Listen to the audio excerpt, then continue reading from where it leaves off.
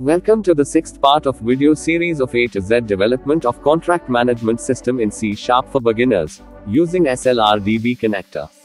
In this video, we'll add assigned works to the database and perform the initial calculation of it. The main topics that we will cover in this video are adding primary and foreign keys in MS SQL Server, performing any operation on a button press event.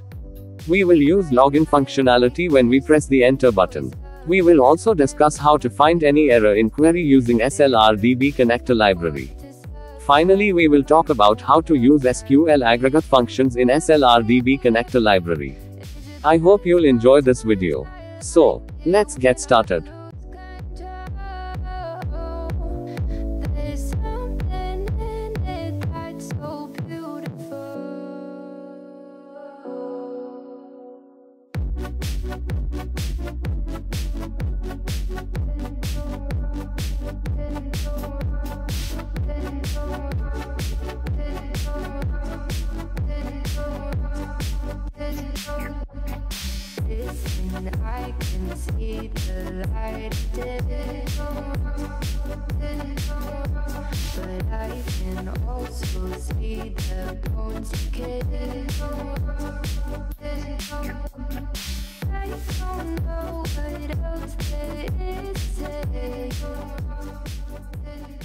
To track the work assignment, let's create a table in our database.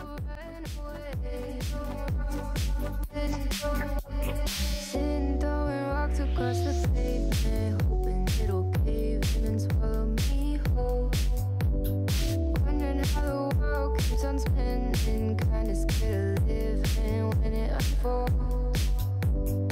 Hard to see the light when everything is dying, waiting for the clear. Thankful I'm alive, but terrified of dying. But hey, I'm still here.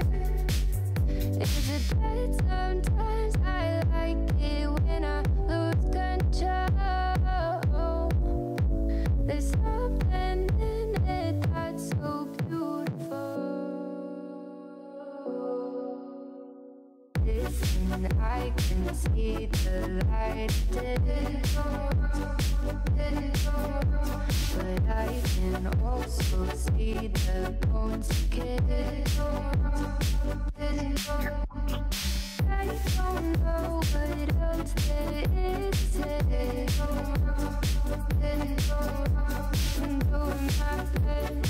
not to run away.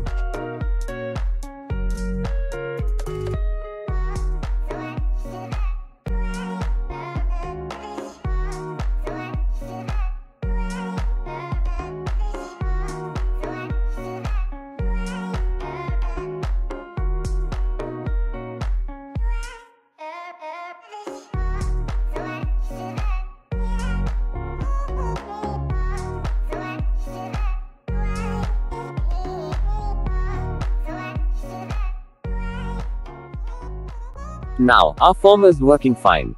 In our next video, we add work done by the contractor. Stay tuned for next videos.